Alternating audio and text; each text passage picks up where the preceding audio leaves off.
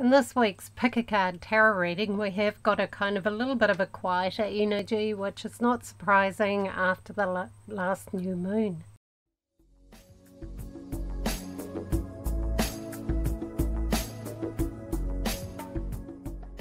Hi, and welcome back to another Pick a Card reading. Um, this last week, you know, we've had a new moon, which often makes people more introspective and is a little bit of a quieter time than a full moon. So this reading is actually reflecting that really well. I've just shuffled the cards and laid them out in the three rows. So if you haven't already, please pick row one, two or three. I'll put an image up there. And we'll look at where that leads. So yeah, it looks like an interesting week. So as we look ahead to the coming week for row ones, we've got the chariot for Monday and Tuesday, which is actually quite a strong driven energy. It's saying you can achieve what you want to, have faith in yourself, believe in yourself, go for what you want, don't hold back. So the new moon's also a great time to build for the next cycle. So this is really in alignment with that. So whatever you've got your mind on, you are wanting to get going with it and you are actually on the right track. This influence is confirming that what you're going for is the right thing for you.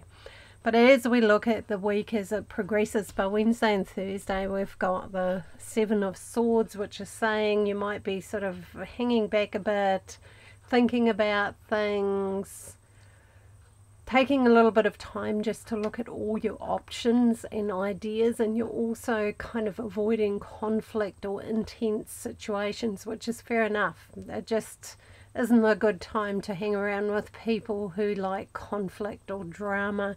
Take some time for yourself and keep away from people like that on Wednesday and Thursday so for Friday, Saturday and Sunday we've got a bit more of an influence like that. We've got the Two of Swords which is also saying take some time for yourself. You know, don't get talked into doing things you don't want to do and just take some time for you. It just it's a very strong message that you're needing a bit of time for reflection, meditation, bit of time just to connect with your own inner self and things like that. And that doesn't mean you have to sit there and meditate all weekend. You know, nature is a great place to reconnect and have some time out. So in a relationship, it's not saying that it's all bad, but you might just need a little bit of time to yourself. Um, so make sure you prepare for that, that you're not overrun with other people's demands all weekend because, yeah, it is a good time just to take some time for yourself. You're heading into a whole new direction. There are a whole lot of new projects and plans and ideas ahead of you. And sometimes we need to just kind of sit back and mull it over a little bit, and then you will start getting moving with it again. So, but don't overthink things. That's a little bit of a danger with these influences, is that you could overthink what you're wanting to do and that's not going to help you. Just try and relax and trust that you know what you're doing and the universe is going to help you and bring you what you need to make that happen. Okay, so for row two, we've got a really creative energy for the start of the week. We've got the Eight of Pentacles. Eight of Pentacles is, yeah, very creative, very much focused on something you're wanting to do, create, manifest in your life and that this is a brilliant time to be clear and on focus with that. And these energies are very much in alignment with the new moon energy because we sort of go within but we also keep in mind what we're wanting to create in our lives and where we're going next in the next cycle. So here we've got an energy of yes you're prepared to work hard for it but it's something you enjoy doing so it's a labor of love so to speak so focus on your own goals rather than everything else you should do. Put some energy into things you're wanting to work on, that you're wanting to do, and you're going to feel really, really good. And by midweek, you've got the Emperor. Wednesday, Thursday, you're feeling pretty strong and pretty much on top of things. So in charge of your life. That's a good way to put it. If this was an outside person, it could be somebody trying to control you. So do keep an eye out on that. But I feel it's more likely that you're going to be feeling strong and certain of what you're doing and where you're going, and you're not going to let people kind of bully you or push you around. So, yeah, that looks really, really great. So, for Friday, Saturday, and Sunday, we've got the Hierophant or the priest, as some people call it, which is probably easier to pronounce. Um, and that's looking at your spirituality, your values, what's important to you. You're very much in alignment with that this weekend. Don't let anybody try and push you into doing things that feel wrong to you. Trust your own inner guidance, your own inner instinct with that. Also, you may have an opportunity to teach or share something that will help somebody else at this time. So, somebody might come to you for some advice or some guidance and you've certainly got some good advice to give and some sound guidance. So do go for that, but it's really also looking at what's right. Don't try to push for the more unconventional or controversial things over the weekend. It's a time to just take one step at a time and fully have faith in what feels right and what feels like it's the right thing for you. So, very, very strong influences for row two saying you know what you're doing, believe in yourself, don't do things that don't align with your values and who you are. And don't let other people bully you into making you do things that, that don't feel right to you, you know. Um, sometimes at work and, and jobs, people you know, get pushed into doing things that really feel very, very wrong to them. I had a job like that years ago. I didn't last. And it was selling some terribly expensive pet food. Very, very expensive. And I had to go into shopping malls and have a table and a display and give little packets out to people. And it really I couldn't do it because the people who were prepared to spend that much money on their pets and it really was very, very expensive, were mostly pensioners who didn't have a lot. And I thought, well, they're going to go without so that their pet can eat this crazy expensive pet food. And I just walked out. At the end of the day, I said, no, I can't do this. I don't feel good about it.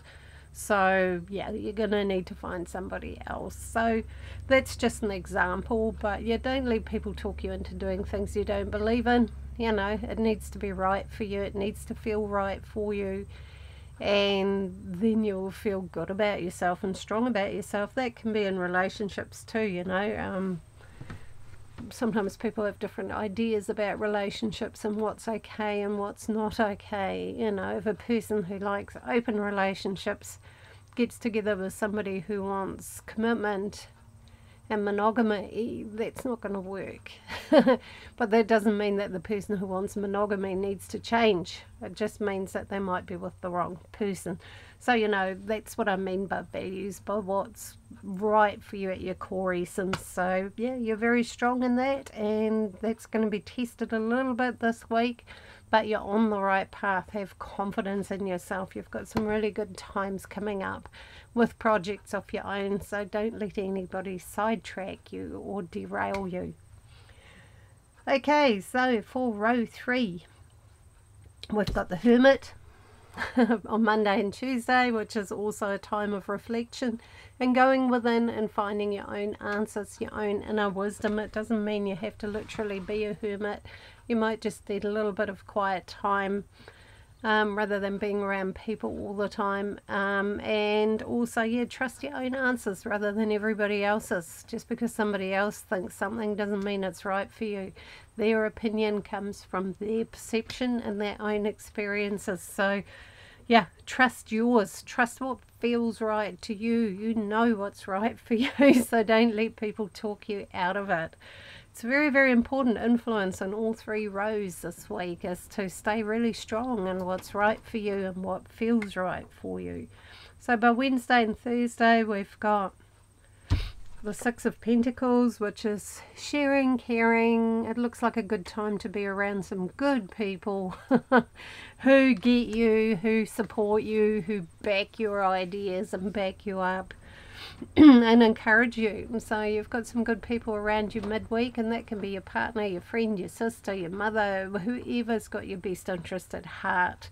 Spend some time around them. It's going to give you a huge boost midweek. So very, very positive for connections and relationship. Um, Wednesday and Thursday. So for the end of the week, for the weekend, Friday, Saturday, and Sunday, we've got the Two of Wands, which is looking forward, being excited, being. Oh gosh, I thought I hadn't turned the microphone on there for a minute. Uh, I've done that before, and you do the whole video and nothing records.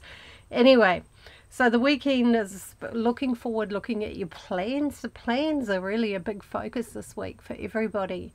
Um, you're feeling pretty clear, pretty certain of yourself. You've got a good idea of what you're wanting to create in your future. Um, go for it. Be confident in what you feels right, even if other people think it's a bit out there. I mean, I do readings for people who have some pretty big dreams, pretty big goals, and they need to go for them because otherwise they'll always wonder what if, you know what if isn't a good way to go through life. So, whatever your dreams and goals are, please keep moving forward with them. Keep going for it. People achieve amazing things in life, and so can you. That is the message here, and it's also saying there's some good people who are going to support you on this journey. Um, it's about caring, sharing, networking, but also, yeah, keep your focus on where you want to go, not where you've been. Okay? Strong message. Don't spend the weekend looking at the past.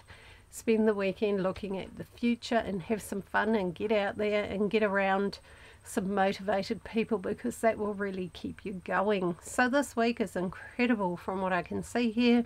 Everybody's on a really good path. Um, everybody's got some goals, some dreams, some ideas, and that doesn't mean you have to make it all happen next week. You know, long term goals are a good thing too, something you can work away at. Um, yeah, it looks good for connections and relationships this week. There doesn't seem to be any big conflicts or dramas. It's, it is saying keep out of those sort of situations, which is always good advice. Um, yeah, so it looks like a brilliant week. The energy's building again. It's time to get moving on the next cycle. So, anyway, I wanted to say thank you for the feedback and ideas I got last week after my discussion about what I was going to do with my channels. I still haven't fully figured it out. I'm not going to stop doing pick a card readings. I just wanted to shift how they're organized. the different kinds of content I make. But I don't want to start another channel either because I already have two YouTube channels and that's really enough. I am going to keep go doing them. I'm most likely go going to leave them on this channel and maybe start something else for my other content. I'm not sure. But I'm not stopping doing them. I'm just going to yeah, think about how I'm structuring it and what's going to happen with it. So, yeah. Yeah, so I'm not going to stop doing them, so don't panic about that. Um, I just haven't quite worked out how I'm going to make the different content on my channel work together a bit better. So, anyway, lots of love to you all and have a fantastic weekend and week. Lots of love to you all and see you next time.